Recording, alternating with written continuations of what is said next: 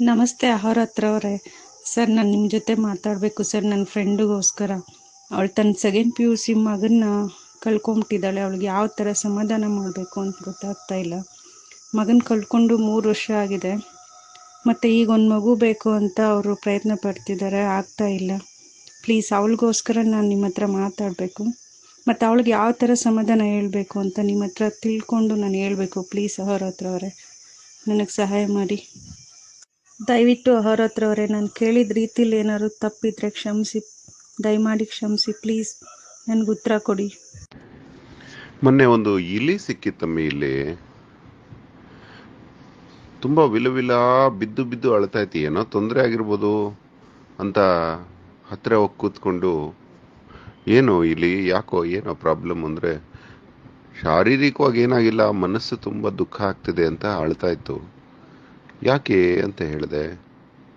ಏನಿಲ್ಲ, ಇಲ್ಲೇ ಮೂರನೇ ಅಂತಸ್ತಲ್ಲಿ ನಾನು ಕೆಲಸ ಮಾಡ್ತಿದ್ದೆ. ನಾನು ತುಂಬ ಶ್ರದ್ಧೆಯಿಂದ ನನ್ನ ಗಂಡ, ನಾನು ಕೆಲಸ ಮಾಡಿಕೊಂಡು ಕ್ಲೀನಾಗಿ ಇರ್ತಿದ್ವಿ. ಅವರಂತೂ ಕ್ಲೀನಾಗಿ ಇರಲಿಲ್ಲ. ತುಂಬ ಕೆಲಸದವರಿದ್ದರು ಅವರು, ನಾವು ಆ ಇದ್ದ ಬದ್ದ ಗಲೀಜನ್ನೆಲ್ಲ ಸ್ವಚ್ಛ ಮಾಡಿಕೊಂಡು ಯಾವುದನ್ನು ಕಡಿತಿರಲಿಲ್ಲ. ಸುಮ್ಮನೆ ನಮ್ಮಷ್ಟಕ್ಕೆ ನಾವು ಇರ್ತಿದ್ವಿ ಮಕ್ಕಳಾದವು.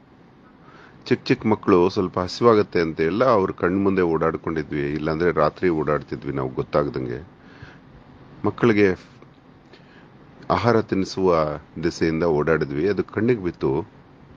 ಅವ್ರ ಮಕ್ಕಳು ಭಯ ಬೀಳ್ತಾರೆ, ಇಲಿ ಇದೆ ಅಂತ ಹೇಳಿ. ಅವ್ರು ಸ್ವಲ್ಪನೂ ಆಲೋಚನೆ ಮಾಡದೆ ಆ ಪೆಸ್ಟ್ ಕಂಟ್ರೋಲ್ ಅವ್ರನ್ನ ಕರೆದುಬಿಟ್ಟು ಮೆಡಿಸಿನ್ ಹಾಕ್ಬಿಟ್ರು. ನಾನು ಹೇಳಿದೆ, ತಿನ್ಬೇಡ್ರೋ ಮೆಡಿಸಿನ್ನು ಅಂತ. ನನ್ನ ಗಂಡನೂ ಕೇಳಲಿಲ್ಲ. ಮಕ್ಕಳುಗೆ ಹೋಗಿ ತಿನ್ನಿಸ್ಬಿಟ್ಟ ಅವನು. ಏನಾಗಲ್ಲ ಅಂತ.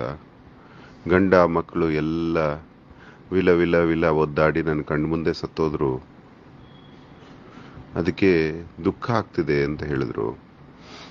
ನಾನು ಎಷ್ಟು ಸಮಾಧಾನ ಮಾಡಿದ್ರು ಸಮಾಧಾನ ಮಾಡೋಕ್ಕಾಗಲಿಲ್ಲ ಕಣ. ಏನು ಮಾಡೋದು?